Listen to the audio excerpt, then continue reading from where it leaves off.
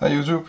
Uh, det her det er en meget, meget øh, enkel video omkring øh, Remarkable 2. Jeg tror, at den snart kommer til sådan mere generelt til Danmark i forhold til, uh, at den kan sælges i, i fysiske butikker rundt omkring. Men indtil nu så har den kun været på bestilling via deres hjemmeside, og der har været exceptionelt lang leveringstid på den.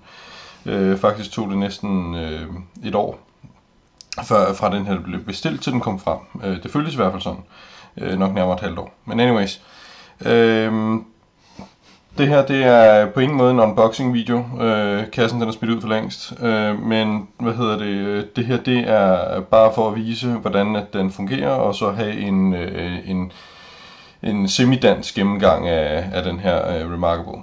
Øh, det I ser her, det er bagsiden, og det her det er øh, forsiden. Øh, de ser utrolig ens ud på kameraet, det gør de også i virkeligheden. Øh, pinden, der følger med som standard, det er sådan en som den her. Øh, der sidder sådan en lille øh, tut ude i enden her, som kan skiftes ud. Øh, hvis man kan få fat i den. Det kan jeg ikke. Ja, det er sådan en lille stift. Der, øh, der følger øh, stifter med til den. Øh, jeg mener, der er omkring 6 eller 8 styks. Øhm, så sidder der magnet ude på siden, så den, så den hænger fast i din Remarkable, når du ikke, øh, ikke skal bruge den. Øhm, man kan vælge at købe et sleeve med, øh, og der er plads til pinden herude. Jeg vil advare mod at øh, sætte pinden ned sådan her, øh, med spidsen nedad, øh, fordi der sidder noget lim i, i syningerne hernede, og den lim den tager altså fat i den spids der, og så er der nogle spids fattigere. Så, øh, så skal du i hvert fald skifte med det samme. Øh, så det er altså modsat. Og det kan heller ikke svare sig at lade den sidde på øh, Remarkable og så lægge ned i, i den her sleeve her, fordi øh, magneten her, den, øh, den er kun så kraftig. Altså, den, det, det, det vil, det, den vil falde af i en taske eller lignende. Så derfor så øh, vil jeg helt klart anbefale, at man bruger den der på siden. Øh, det her det er sådan cirka standardpakken, øh, som man kan købe. Øh, der er ikke noget, det, er ikke, det er ikke den fancy. Der er mulighed for at få en pind øh, med her, hvor der er et, øh, et, øh, slags viskelæder her bagpå. Øh, sådan så, at når man har skrevet et eller andet, jamen, så, kan man, øh, så kan man viske ud bare ved at vinde pinden om. Og det er selvfølgelig praktisk. Øh, det har jeg på en anden, øh, en anden tablet, jeg har, og det, øh, jeg ved ikke, om jeg savner det på den her, men det kan vi lige komme tilbage til. Øhm, når man tænder for den, så ser det sådan her ud, den, øh, og den holder ekstremt langt batteri. Jeg har, ikke, jeg har kun lavet den her øh, to gange, siden jeg fik den, øh, og det er nu tre måneder siden. Øhm, øh, så, så batteri, batteritiden, den, øh, den svarer helt klart, øh, eller lever helt klart op til forventningen. Øh, jeg har valgt et interface her på engelsk, og det er fordi, at jeg arbejder, øh, arbejder på engelsk i hverdagen. Øh, og så er det bare nemmere ikke at skulle, øh, skulle sidde og skifte sprog hele tiden. Øh, men anyways, så øh, det man har her, det er så mine filer. Øh, og der er så to pdf-filer, og så er der nogle quick sheets. Og quick sheets, det er dem, de kommer ligesom ud af kassen, og der kan man bare begynde at skrive, hvis man har lyst til det. Øh, hvis vi øh, laver et øh, nyt, så kan man se her, at... Øh, at man sådan set bare kan, kan gå i gang. Og den her følelse af at skrive, den, den er meget paper-like, som, som de ligesom øh, reklamerer med. Jeg synes, det fungerer super godt. Øh, man har også mulighed for ligesom at klippe øh, ting ud, øh, og flytte rundt på dem, hvis man har lyst til det. Øh, jeg tror så, at man skal gøre sådan der. Yes. Øh, det fungerer særlig godt, hvis man har øh, skrift. Øh, altså hvis man har skrevet et ord, og man gerne vil flytte det et andet sted hen, så er det selvfølgelig øh, øh, super smart. Øh, omkring viskelæder, det jeg vil vende tilbage til, det er, at øh, hvis man ikke har det bag på pinden, som, som jeg ikke har her, så er der en knap herude, hvor man så kan, kan viske ud. Øh, øh, så det fungerer, det fungerer fint til det, jeg har behov for. Øh, og derfor valgte jeg ikke den pind. Hvis, man kan så vælge forskellige andre pinde her, øh, alt efter hvad man har lyst til. Hvis man sidder i en, øh, sidder og gerne vil skrive et eller andet på et eller andet halløj, så kan man gøre det. Og ellers så kan man selvfølgelig bare øh, vælge de forskellige, man, man synes, man har behov for. De er, de er ret seje faktisk. Øh, det er en ret god effekt, der er af, at man både trykker hårdt, men også øh, trykker lidt her. her der trykker jeg meget hårdt ned, og her der kører jeg bare sådan lidt henover. Øh, det, den der øh, fil der, den har, den har de fanget meget godt. Øh, og så har man selvfølgelig mulighed for at sætte tykkelserne øh, på, på skrifttypen. Øh, hernede i bunden, der har man sådan noget, der hedder Live View Beta, øh, det, eller Live View, og det er i beta. Øh, det betyder, at man kan bruge den her egentlig som en øh, tegneplade til sin computer. Øh, det fungerer øh, ikke så godt lige nu. Øh, man kan godt få en, altså en fornemmelse af, hvad der er, der skal, hvad der er, der, hvad der er, der kommer til at fungere i fremtiden, men, øh, men lige pt, så, så er det ikke noget, jeg bruger sådan synderligt meget. Til gengæld det her med at sende, øh, sende som e-mail, øh, øh, det bruger jeg en del, øh, og det fungerer rigtig fint. Den husker også, hvad for nogle e-mails man har sendt til. Sådan, så man ikke skal sidde og taste dem ind. Og når man skal taste en e-mail ind, så er det ikke noget, man skal sidde og skrive i hånden, så får man en tastatur frem, man sidder og taster ind efter, så det, det fungerer fint. Øh, den her Convert øh, to Text and øh, Send, den øh, fungerer forbløffende godt. Øh, jeg har en meget, meget grim håndskrift, som jeg ikke vil udsætte for, øh, og, øh, og det kan den altså godt, øh, det kan den godt forstå. Og der understøtter den selvfølgelig også dansk, øh, så det er rigtig fint. Øh, så har man øh, det næste punkt hernede, det er øh, de forskellige lag. Man kan tilføje et lag, øh, lidt ligesom hvis man har, øh, hvis der er nogen, der har øh, erfaring fra Photoshop, så kan man tilføje lag i et billede. Det fungerer på samme måde her. Øh, sådan så at man kan sige, nu vil jeg, nu vil jeg have lag 2, så skriver jeg et eller andet. Øh, så vil jeg gerne fjerne lag 1, og så er det kun lag 2, der, der står igen.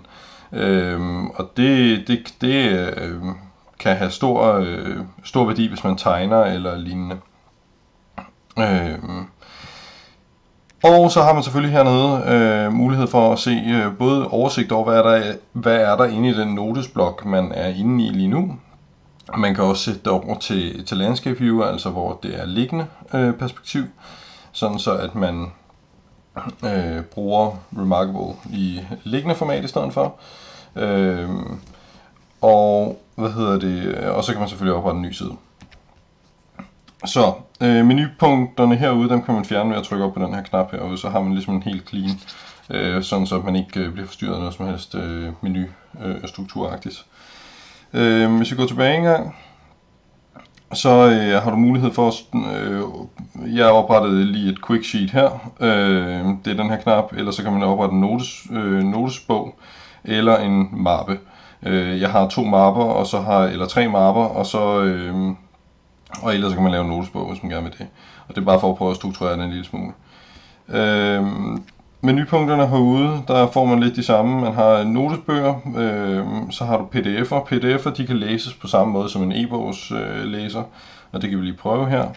Øh, hvis man går ind og kigger i en e-bogslæser her, eller det her det er så bare en pdf, jeg har, jeg har lagt ind, så kan man øh, sidde og, og øh, skifte side øh, og slide fuldstændig som, som var det en, en e-bogslæser. Det fungerer sindssygt godt. Øh, og øh, er hurtigt. Øh, jeg har ikke haft Remarkable 1, men dem som jeg har snakket med, som har den, de siger, at det her det fungerer meget bedre på toren. Øh, og så kan du selvfølgelig sidde og strege i, øh, direkte på øh, i din, din øh, pdf-fil. Øh, yes. Så øh, kan vi kigge på den her. Øh, ja, så har du e-bøger også. E-bøger, det er de her e-pop-formatet, og det er typisk, øh, altså det, det e-bøger, dem kan man købe i mange forskellige formater, men e-pop-formatet er ligesom øh, øh standarden for, for e-bøger. Øh, så er favoritter, hvis man har nogle favoritter, man har markeret, så vil de vises her.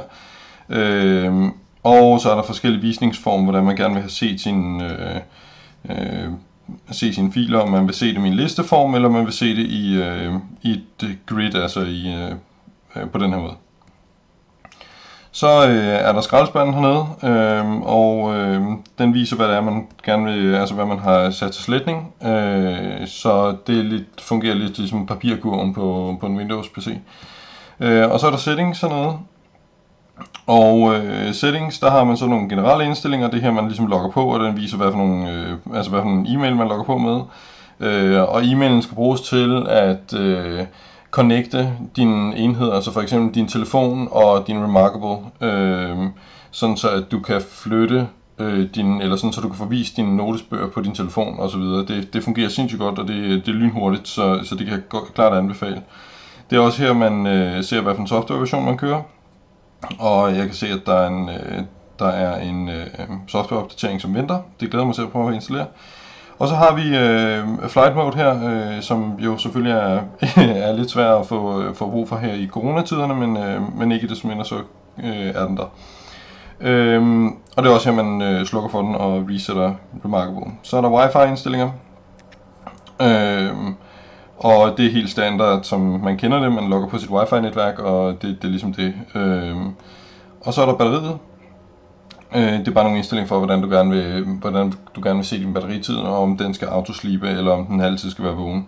Øh, I nogle tilfælde, altså autosleep, øh, øh, bliver jo aktiveret, kan man sige, efter 20 minutter, som der står her. Øh, og efter 20 minutter, så vil den så få øh, øh, den her front i stedet for. Og øh, ærligt talt, så det, den tid, det tager for lige at, at starte den op, det er, det er, det er jo ingenting. Så, øh, så jeg har også slip på. Øh, så har vi øh, storage. Øhm, og det er så den kapacitet, man har tilbage på den, og det er i den, den her version her, der er så 6, øh, 6 GB, 6,4 GB øh, øh, ja, kapacitet. Øhm, så er der sikkerhed, øh, og det er egentlig bare, om du vil have en øh, pindkode, når du starter den op. Og øh, så er der øh, sprog, øh, og der er jo så, øh, der kan du se det her, eller der kan I se det her, handwriting øh, conversation language. Øh, og det er for, at den kan finde ud af, hvad for et øh, sprog man gerne vil øh, konvertere til, hvis man vælger den der øh, convert to text. Og så er der øh, accessibility. Øh, det er øh, hvis du holder venstre hånd, så kan du sætte det her, øh, om du vil have en større eller en normal font, øh, alt efter hvordan du, øh, du synes det er behageligt at sidde og læse. Øh, det er meget forskelligt. Nogle gange sætter jeg den op på, på stor font, når jeg skal sidde og læse e-bøger, fordi at det bare er, øh, hvis jeg er træt, jamen så, øh, så er det rart at have en større font, øh, ganske enkelt. Og så er der hjælp, øh, og, øh, og det her det handler egentlig mest om, hvad for nogle hjælpe ting man gerne vil have, øh, man gerne vil have vist. Så det var, det var sådan set det. Så øh, den sidste del hernede, det er, det er, at man kan se, at man har logget wifi. Man kan se, at øh, herover der er så en softwareopdatering, som venter. Og så kan man se batteritiden hernede. Og inde i indstillingen, der kunne vi så vælge, om, om man ville se procentsatsen øh, eller ej. Øh, man har mulighed for at søge i sin, øh, sine notesbøger heroppe. Øh, jeg har altid ikke brugt det så meget. Øh, men det er en, øh, der er en søgefunktion i hvert fald. Yes. Øh, en ting, som jeg måske var, eller en ting, som jeg blev positivt overrasket over, da jeg fik den, det var størrelsen. Øh, der er ligesom øh, en, hvad skal man sige, en, et forhold her. Øh, men tykkelsen på den er også øh, fænomenal. Øh, I den forstand, at det, det er meget, meget tyndt. Den kan sagtens ligge op ved siden af en bærbar, eller et eller andet, uden at man, man lægger mærke til den. Øh, og, øh, og det synes jeg er rigtig fedt. Øh, den har en god tyngde. Øh, nogen vil nok mene, at den er lidt for tung.